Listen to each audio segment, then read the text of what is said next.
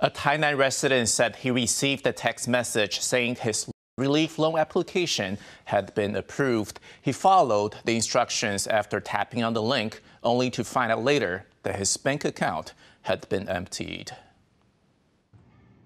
This is a scam website targeting people who are applying for government relief. A Tainan man applying for COVID 19 relief was tricked into entering his bank account number on the website, and his account was subsequently emptied. 确诊的补助已审核通过，并附有纾困四点零的网站连结。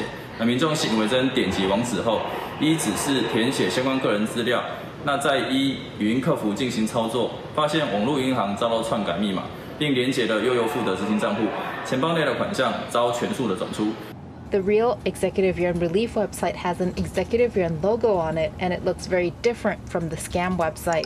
The Tainan City Labor Affairs Bureau says neither the central nor local governments contact relief applicants via SMS or links. Therefore, anyone receiving such SMS messages should confirm with the authorities. 觉得点进去，我自己的话是会有疑虑，但是如果没有概念的人，就有可能会不小心点到。就是那政府行政院有一支专线纾困专线一九八八，那民众可以先打电话去做确认。 Police say all relief and loan applications should be filed through official channels, and any text messages and links from unclear sources should be ignored.